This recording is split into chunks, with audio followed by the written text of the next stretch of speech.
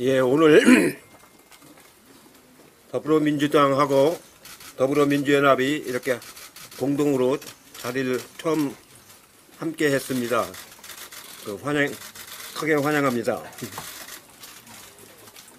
이제 선거가 저- 정말로 3주밖에 남지 않았습니다. 예, 지금부터가 본격적인 선거라고 생각이 듭니다. 황상무라는 휘칼을 쓰는 사람이 오늘 아침에 예, 긴급하게 사의를 했다는 뉴스를 들었습니다. 어, 저는 언제적 얘기입니까? 그 얘기를 가지고 언론인한테 협박을 하고 노태우 때도 안 하던 짓입니다. 이거는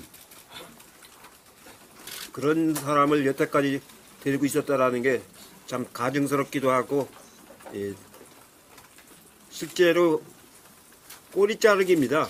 본질은 오히려 그 도주대사입니다.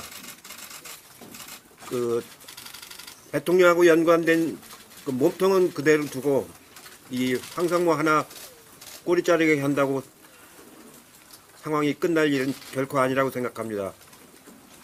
호주 대사는 이제 빨리 귀국을 시켜야 합니다. 아니 붙잡아 와야 합니다. 우리 당이라도 가서 붙잡아 오도록 그렇게 조치를 취해야 합니다. 실제로 진실을 은폐한 사람은 그 도주대사입니다.